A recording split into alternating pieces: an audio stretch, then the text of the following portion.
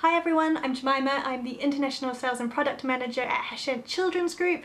We've got a really fantastic lineup of titles to tell you about, from magical debuts to key brand authors to non-fiction. So I hope that you enjoy uh, and you find something to get excited about.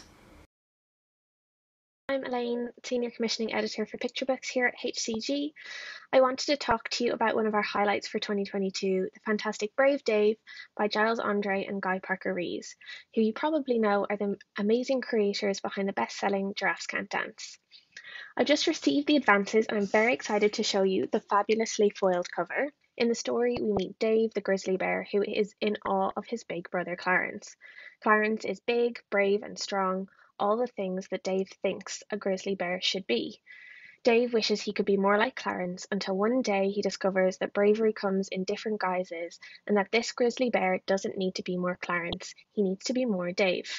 This picture book is a celebration of individuality, self acceptance, and finding the courage to stand out. It's the perfect book for encouraging all little ones to take pride in being themselves and showing them that they don't have to be like anyone else, not even their older brothers or sisters.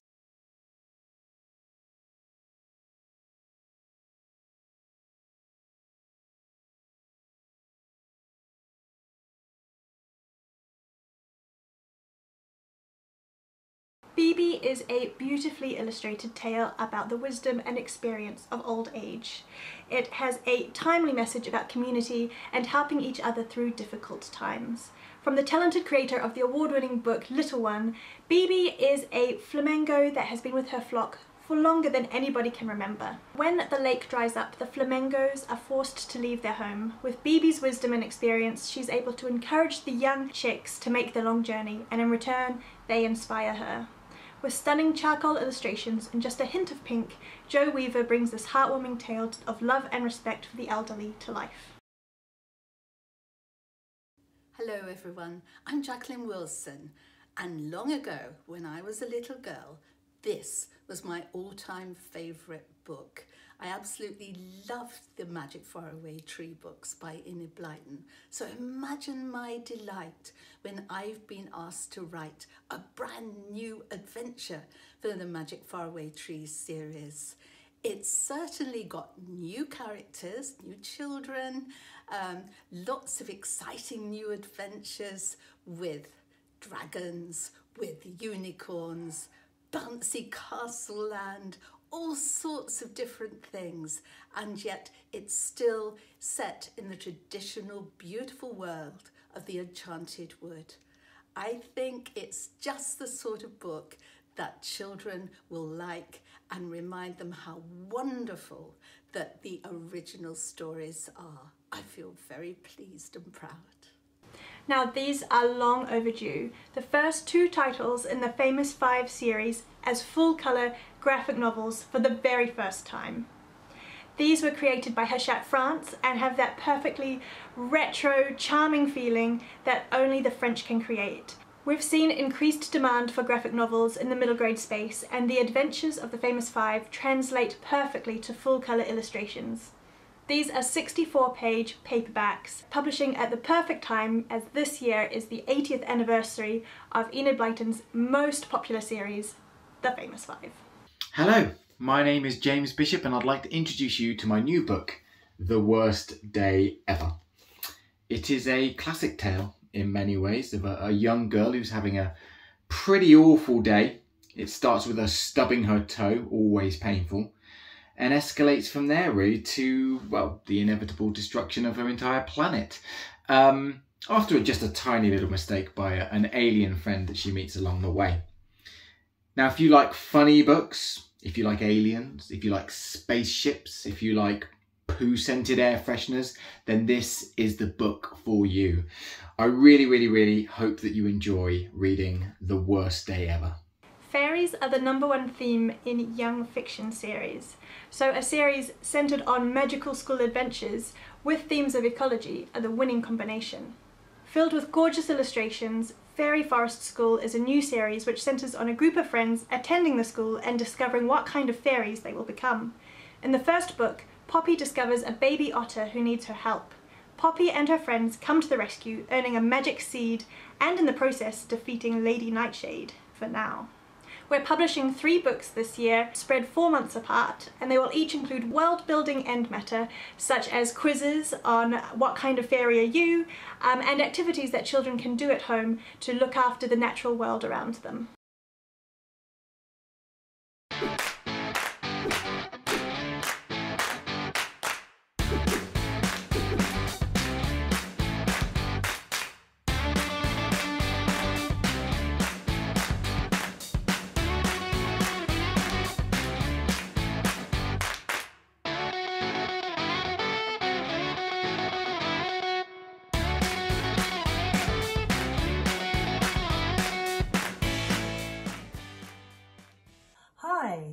Weeks, and I'm super excited to tell you a little bit about my new book, What's New Harper Drew.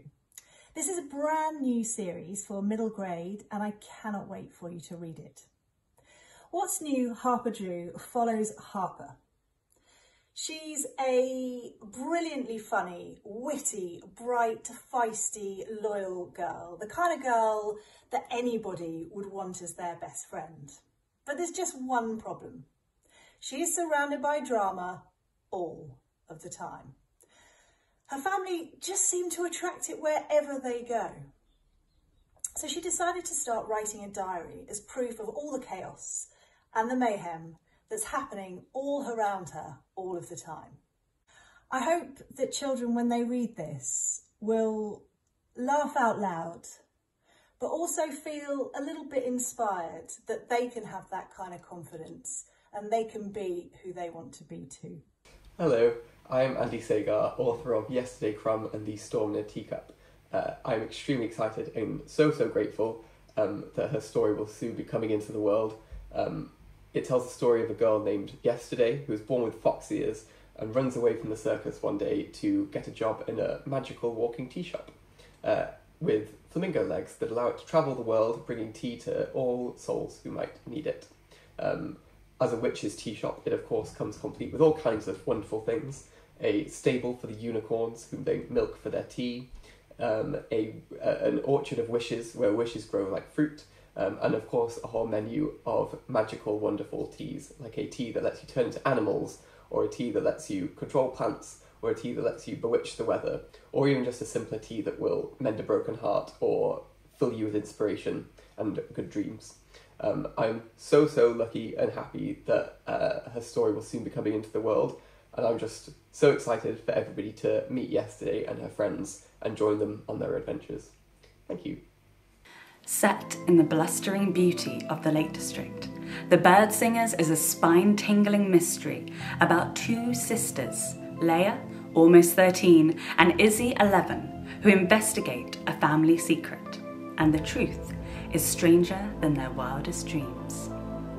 An old woman in the garden, a dead bird in the road, and a blurred photograph set the sisters off on their adventure. And all the while, they're being stalked by a feathered villainess, a monster escaped from myth. A tale full of suspense, danger, peanut butter fudge cake, and a girl who would do anything to save her family. Hello, my name is Hannah Durkin, and I'm incredibly excited that my debut middle grade fantasy, Xena Starborn and the Sky Whale, comes out this year. Xena is a brave and determined 11 year old who dreams of escaping the polluted city of Ravenport to travel above the smog into a world filled with incredible airships, fearless explorers, and magnificent sky whales. So when she wins the chance to visit the Willoughby Whale, a luxurious city-sized hotel built on the back of a flying whale, she grabs it. It's a place where her wildest dreams could come true, yet it is also crawling with spies, smog rat pirates and deadly secrets. Unfortunately, the only person there to help her discover the truth is Jackson Willoughby, heir to the Willoughby fortune, who just seems to be terrified of everything. Xena and Jackson must overcome their differences and rethink everything they thought they knew about their world if they are going to survive their journey to the truth. My inspiration for Sky Whales came from hearing that a recording of Whale Song was sent up into space in the 1970s. It got me thinking about what would happen if the first sky explorers came across giant sky whales, just like the first explorers of our oceans had encounters with sea creatures. What kind of world would that create and how would the sky whales be treated by humans? It's a story I hope will inspire readers to be curious about their world, to strive to do what they think is right, and to have the courage to follow their dreams. Hunter has perfect aim with a bow and arrow, but somehow the wind keeps getting him into trouble. And Luna is the perfect high school student, but the pressure from her parents is really beginning to take a toll. Plus, she seems to be followed everywhere by these strange fireflies. Drawn together, Hunter and Luna navigate their warring family's darkest secrets, and as everything around them begins to fall apart, they must figure out who they are meant to become and what they are fated to do. Emily's first book, The Astonishing Colour of After, was a New York Times bestseller. An Arrow to the Moon is her second YA novel. It's based on Romeo and Juliet and includes the magic of Chinese mythology. The Bone Spindle is the tale of Sleeping Beauty with a gender flipped twist. Set 100 years after Prince Briar Rose and the kingdom have been put to sleep by the Spindle Witch, witch hunters are doing all they can to stop the great kingdom of magic from ever being restored. But the fallen kingdom holds many relics, and Fior, known as Fi, is a talented treasure hunter with a curse on her. When she pricks her finger on an old spindle, not only does she alert the witch hunters to her presence, but she awakens the ghost of the sleeping prince, who believes a single true love's kiss will break the sleep of death. Now she has another curse to break. Fi must team up with Shane, a stroppy huntswoman with an almost an axe almost bigger than herself, to find the prince's body and to free him and herself from the curses. Throw in an emerging LGBTQ romance between Shane and the mysterious Red, tension between Fi and the ghostly Briar Rose, and nightmarish beasts and witch hunters after them, this isn't going to be an easy journey. And if Fi can break this curse, will the world really retru- truly return to what it was? Or has the Spindle Witch got more threads up her sleeve? I do hope you enjoy this fractured fairy tale retelling.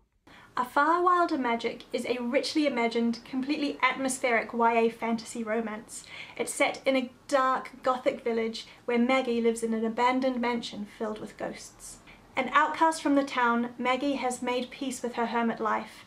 That is, until Wes, a down on his luck alchemy apprentice, comes knocking.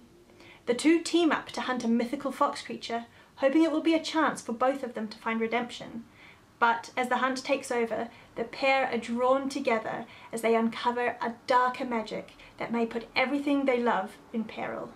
I wrote this first draft of this book in 2015, and at the time, I was watching a post apocalyptic show that shall remain nameless, and a few things kept bothering me. First, I wanted to know where all the queer characters were. All of these survivors were straight. How boring. I've heard that they've since changed that, but I was a little miffed at the time. These writers created this whole post-apocalyptic world where queer, queer people just didn't survive. And if I can be completely honest, I'm pretty sure that we would. Queer people are very adaptable, and we're used to the world trying to kill us, so. The other thing I noticed was how dark and depressing it was. There just never seemed to be any hopeful scenes or any levity. It was always, everyone's miserable, everyone's a monster, and everyone's going to die. Now here's 17 seasons worth of trauma porn.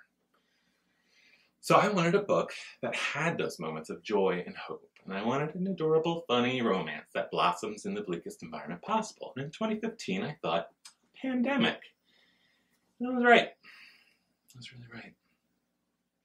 But through all of the edits and changes that have happened with the book, it's always remained a love story. I hope you all enjoy it, and again, I appreciate all the hard work you do helping readers find books like mine. Thanks. Drawing from his own life growing up as a painfully shy child, best-selling author Ben Brooks, who you'll know from Stories for Boys Who Dare to Be Different, explores what it means to be quiet.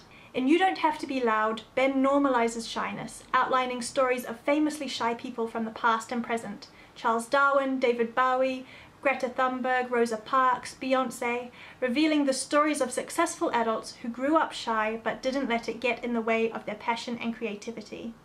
Completely unique to the children's market, this book will help shy kids to thrive in their own quiet way, reassuring them that they don't have to be something that they're not, but instead they can be proud of who they are amongst even their loud friends.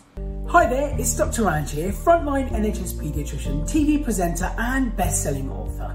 My new book, Brain Power, is a toolkit to help children aged 7 and above understand their unique brain. In it, they'll discover how the brain works, how to train it to get better at tricky stuff, and how different people think in different ways. Ultimately, Brain Power will give readers the confidence to understand and love their brain and themselves. Hi, I'm Dr. Camilla Pang. Um, I'm a scientist and author, and I'm really excited to tell you about my new book, uh, Perfectly Weird, Perfectly You, a scientific uh, survival guide to growing up. Um, so I was diagnosed with autism at the age of eight, and science helped me uh, make sense of the world. And so Perfectly Weird, Perfectly You um, shows readers um, how science can actually help them growing up. For example, asking the questions that a lot of children feel but can't quite articulate, such as managing your emotions, peer pressure, confidence, um, where arguments can actually form like discussions and collaborations that happen in science. So all the things that science has pinned down for me as a process, I've tried to replicate in the book. I hope that my book will help children learn more about what makes them tick and to understand that it's completely normal to be perfectly weird. Uh, I can't wait for you to read it.